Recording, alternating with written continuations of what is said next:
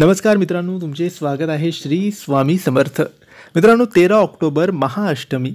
मुलांवरून ओवाळून ही एक वस्तू इथे टाका.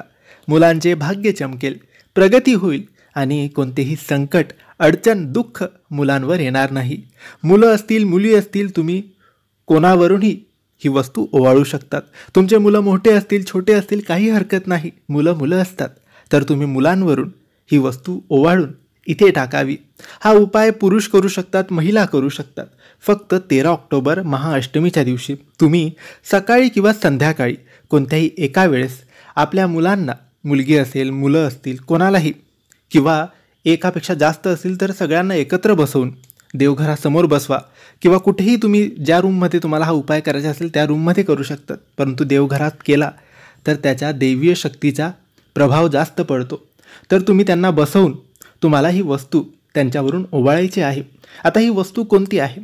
तर मित्रांनो तुम्हाला एक मूठ जी ही व्यक्ती ओवाळणार असेल त्या व्यक्तीने एक मूठ कोणतेही धान्य घ्यायचे आहे. आता कोणतेही धान्य म्हणजे गहू तांदूळ बाजरी यापैकी तुम्ही काहीही घ्या. तुमच्या घरात गहू असतील गहू घ्या. तांदूळ असेल तांदूळ घ्या. बाजरी असेल बाजरी घ्या. किंवा इतर चपाती किंवा भाकरी करण्याचे धान्य असेल तर तुम्ही ते घेऊ शकतात एक मूठ घेतल्यानंतर त्याच मुठेने तुम्हाला तुमच्या मुलांवरून ते ओवाळायचे आहे. दोन तीन मुलं असतील तर आधी एकाला ओवाळून घ्या नंतर दुसऱ्याला नंतर तिसऱ्याला. एकच मूठने त्याच धान्याने. दुसरी दुसरी मूठ घ्यायची नाही आहे तुम्ही कसं ओवाळायचं? जसं आपल्या घड्याळीचा काटा फिरतो तसं डोक्यापासून पायापर्यंत तुम्हाला गोल राऊंड फिरवायचा आहे तुमची मूठ.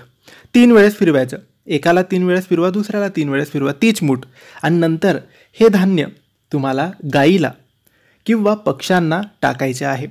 गाय असेल तर गाईला टाका पक्षी असतील तर पक्ष्यांना टाका. सहसा गाय शहरांमध्ये मिळत नाही तर तुम्ही तुमच्या छतावर टेरिसवर किंवा बाहेर कुठे अशा जागेवर टाका जिथे पक्षी येऊन ते धान्य खाऊ शकतील. अशा रीतीने महाअष्टमीच्या दिवशी तुम्ही हा उपाय करा. मुलांवर लागलेली नजर मुलांवर असलेली बाधा पिढा जेही दोष असतील ते या उपायामधून निघून जातील. तर मित्रांनो हा उपाय नक्की करा. आणि माहिती तुम्हाला आवडली असेल तर लाईक आणि शेअर करा. काही प्रश्न असतील तर कमेंट्सद्वारे विचारा. आणि आमच्या चॅनलला सबस्क्राईब करायला विसरू नका. धन्यवाद.